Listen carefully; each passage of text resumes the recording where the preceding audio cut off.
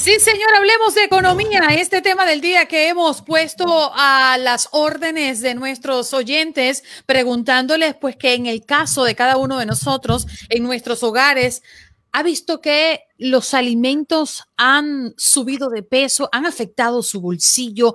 ¿Qué pasa? ¿Por qué esto ocurre? Por eso hoy está con nosotros Eileen King, economista. ¿Cómo está? Muy buenos días y bienvenida al show. Muchas gracias, Andreina. Este, ya te escuché, ya, este, qué tan bien hablas español y todo ese lenguaje que están aprendiendo con tus oyentes. Aquí damos clases de ampliación de lengua. Está, está bueno ese título, ¿verdad, Eli? Claro, es buenísimo para poder conversar más intelectualmente. Sí, señor. Bueno, vamos a hablar de los precios en el supermercado. Uno va y dice, ay, está como un poco más caro hoy. Oye, hoy traje 200 dólares como siempre y resulta que ahora me estoy llevando menos artículos. Esto se está poniendo como muy costoso. Pero ¿cuál es la raíz? ¿Por qué ocurre eso principalmente en los artículos de primera necesidad, de la canasta básica? Mira, eh, Andreina, esto es algo bien sencillo de explicar. El año pasado todos hemos estado en casa, hemos demandado más víveres y no había suficiente oferta. Esa demanda que nosotros necesitábamos cuando estábamos entre las paredes, está, estamos viendo el efecto hoy de los precios más altos porque no hay suficiente oferta. Sin embargo, los expertos están esperando que en menos de un año esto se tiene que arreglar porque hay va a haber más ofertas y va a haber menos demanda, por ende los precios deberían de nivelarse y mínimo no deberían de subir tanto. Un ejemplo es la madera. La madera ha subido 250%.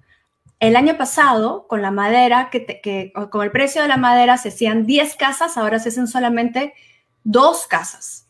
¿Y por qué es eso? Porque mucha gente está renovando sus casas, porque ahora ya el jefe o sus negocios los pueden hacer de casa. Y eso está generando mucha demanda la demanda hace que los precios suban pero todo ha subido. El pollo ha subido 11%, el tocino ha subido 16%, las alitas que tanto nos gustan han subido 180%. Entonces, lo que va a causar eso es que se tiene que subir los ingresos también. Entonces, Bank of America había anunciado que se está viendo que se pueda subir el, mínimo del 15 a 20 dólares, eh, entre 20 y 25. Y la Reserva Federal también va a tener que subir los intereses, porque si el dinero sigue siendo barato y la gente sigue comprando y demandando más cosas, eso hace que los precios suban. Eso es, eso es más o menos mi, mi pronóstico hasta ahora. Entonces, la gente que está escuchando debería de tomar calma, paciencia, pero también ser inteligente cuando compra y comprar las cosas que no están caras. Por ejemplo, yo ayer fui a comprar, a, me encanta la fruta, no sé, Andreina, a ti te encanta la fruta, a mí me encanta la fruta bueno, me compré plátanos en 19 centavos. No me compraré, pues, no sé, pues el dragon fruit, ¿no? Que vale 5 dólares. Este, las fresas están en, esta es la época de las fresas, es época de las mandarinas. Comprar las cosas que son buenas, pero que también hay más auge. Cuando hay más, es más barato. Sí. Elaine, ¿qué tanto ha impactado el que al mercado haya entrado tanto dinero fácil, que hayan inyectado tantos miles y miles de millones de dólares a, maneras, a manera de ayudas federales para enfrentar y palear los estragos de esta pandemia. Porque a mí hay algo que me preocupa y es que no hay un impuesto más permanente que la inflación y no hay un impuesto más democrático que la inflación. Nos golpea a todos, ricos, pobres, aquí no importa nada. Todos somos impactados por la inflación y esta, cuando sube, poco tiende a bajar. Claro, pero lamentablemente eh, era, era eh, JC. Juan, este. Juan Carlos. Pero JC, como usted quiera. JC. este, lamentablemente, cuando eh, estábamos en, estábamos en depresión, o sea, estábamos, la economía estaba tan mala que era la única forma de salir. Es como estás en un túnel y la única forma es de, no sé, de poner dinamita para poder salir del túnel. Entonces, sabíamos que esto se venía ¿Qué es lo que hace la inflación? Debilita el dólar. Entonces, eso es lo que hace. Debilita el dólar, inyecta un montón de dinero a la economía y hace que el dinero sea más barato para que la gente consuma.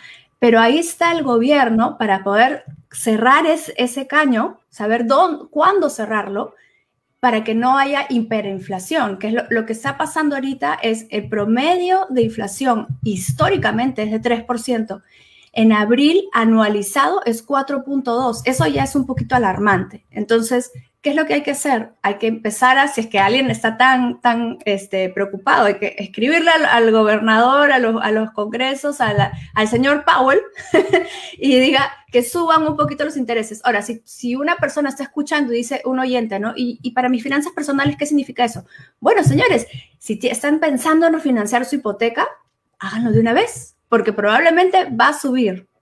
Si ustedes están pensando en comprar un carro, algo que ya se viene porque la escasez de la, de, la madera es uno, pero ahora va a ser la escasez de todos los carros que no se hicieron el año pasado. Entonces, cómprese su carrito porque ahorita están baratos. este, ¿qué más? Eh, un préstamo. Pídase ese préstamo de una vez porque el próximo año esos intereses de todas maneras van a estar más caros. ¿Cuánto cree usted que va a tardar para que la Reserva Federal se dé ese, ese correazo de subir los intereses? Porque nunca ha sido popular el alza de los intereses. No, lo que pasa es que Biden, cuando subió al gobierno, dijo, yo no voy a subir los intereses de la Reserva Federal hasta que la tasa de desempleo se mejore. Y él tiene un número y ese número todavía, todavía está, está alta, la, la tasa de desempleo. Entonces, ¿qué sucede, Juan Carlos? Que hay todavía hasta septiembre está el incentivo del desempleo. Y hay una coyuntura ahí que dice, bueno, si el desempleo y el incentivo te vamos a dar 235 dólares o 550 al mes, más los 300 de bono, más los 300 de bono, saca tu, saca tu cuenta, divídelo entre 40 y creo que entre trabajar en Target y sentarte en tu casa eh, no hay motivación. Total. Entonces, hasta que no se arregle y se ajuste eso o se califique mejor, la tasa de desempleo no va a bajar porque hay trabajo, déjame que te diga, yo, yo, yo manejo y veo trabajo por todos lados. Este, es, la, es cuestión de que por qué alguien va a trabajar por 10 dólares la hora si me están pagando en el desempleo, no sé, no, he hecho mi cuenta, pero creo que es un poquito más. Elaine, eh, fíjate que dijiste algo muy interesante eh, en tu primera respuesta y, voy a volver al supermercado. Eh, que van a bajar los precios cuando la demanda baje un poco también, ¿no? Y, cuando comience a apretarse las cosas porque el poder adquisitivo hoy está elevado por todas las ayudas también que, hemos recibido. Pero esto, bueno, ya lo estamos viendo, lo, estamos viendo en Texas, lo estamos viendo en Florida, lo estamos viendo en varios estados del país que están eliminando, de hecho, el subsidio por desempleo semanalmente en estos estados es posible, es decir, la economía funciona así en este país porque en mi país todo lo que sube no baja. Eso, olvídate, eso no ocurre. Si subieron los precios del, banano o subieron, al menos que sea un tema de temporada, ¿no? Que eso aplica para siempre. Pero los productos que han subido por la situación pandemia, porque no se ha producido con, la misma eh, cantidad, por todo lo que ha significado eh, esta problemática, es posible que bajen de nuevo?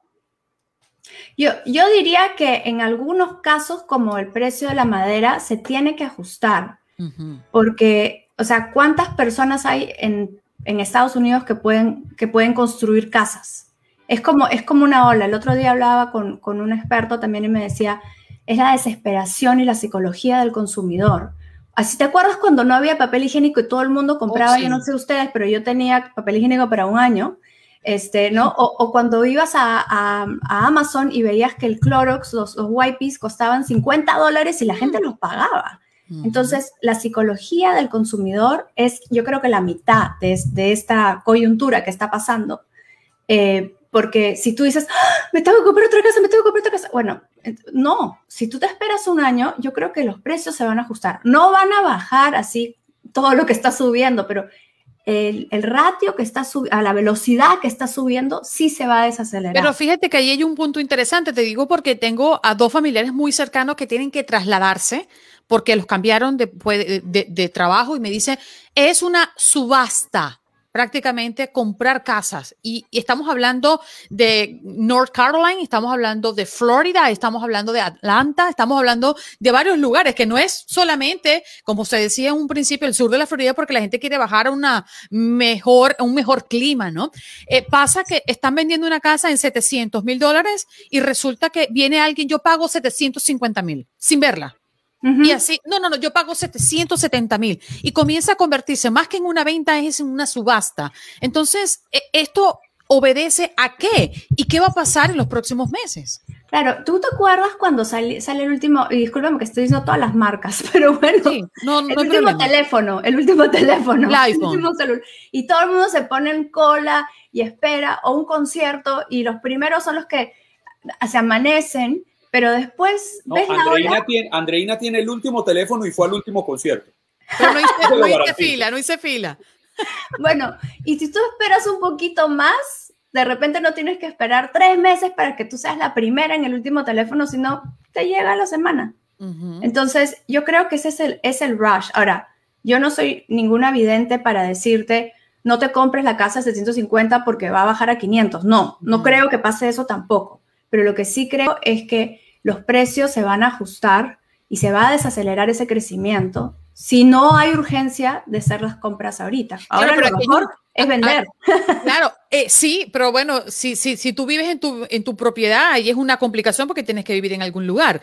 Pero fíjate que hay un punto interesante del que tú hablabas y eran los intereses. Ahora los intereses están bajos, pero es posible, es posible que esa casa no baje tanto, pero los intereses puedan subir. Entonces ya no sería una buena oportunidad comprar en un año. ¿Es correcto lo que digo o, o usted es la experta?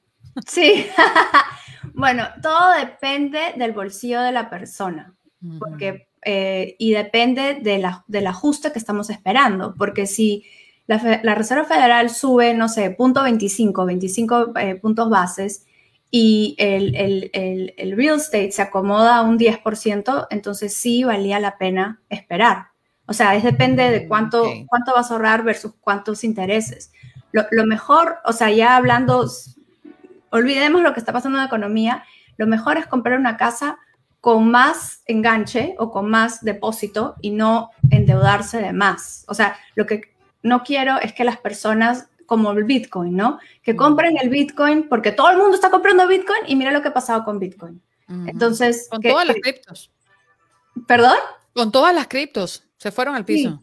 Entonces, lo que voy es que yo soy... Ah, em, Certified Financial Planner, planificadora financiera certificada, y yo me especializo en hacer un plan estratégico personal individual.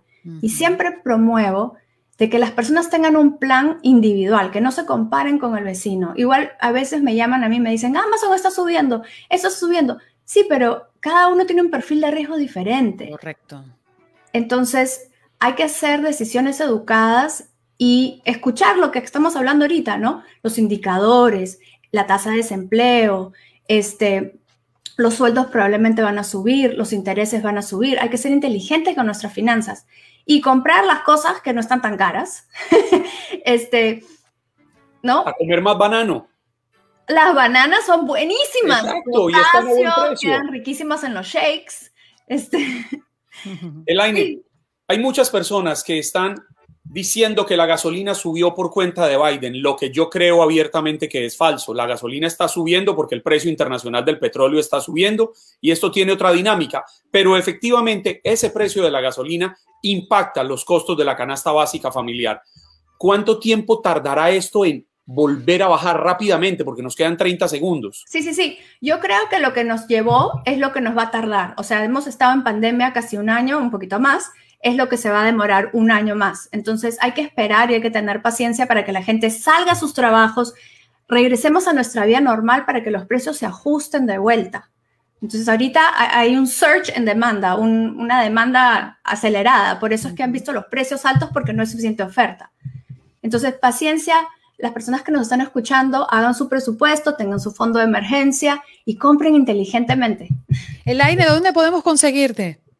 Elaineking.com es elaineking.com y en las redes, en Instagram, por favor, mándenme sus comentarios y feliz de, contribuir con ustedes. Ya mismo la busco. Ya voy a seguirla, vámonos. Elaine King, ella es economista y bueno, se, se especializa en asesorar a familias y sus finanzas personales.